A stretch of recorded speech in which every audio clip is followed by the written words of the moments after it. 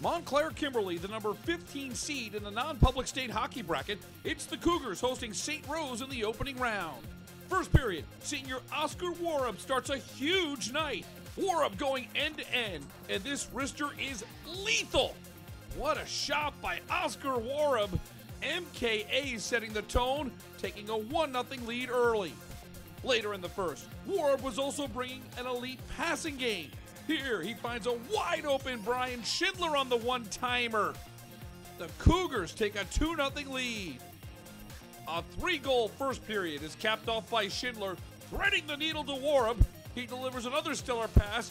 Benji Pfeiffer, the recipient. He puts it home. Oscar Worob had a six point night, two goals, and four helpers. 3 0 Cougars after one, and MKA goes on to a 7 1 win over St. Rose. The Cougars improved to 13 3 2 on the season. They'll face second seed Delbarton in round two. In Montclair, I'm Rich Crampanis for JerseySportsZone.com.